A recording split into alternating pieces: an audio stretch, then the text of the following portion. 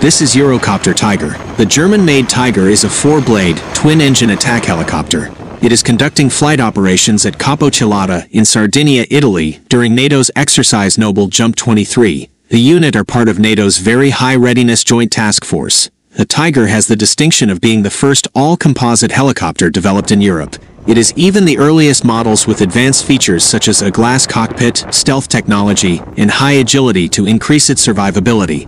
The Tiger is capable of undertaking a wide range of combat missions. It includes armed reconnaissance and surveillance, anti-tank and close air support, escort and protection of friendly assets,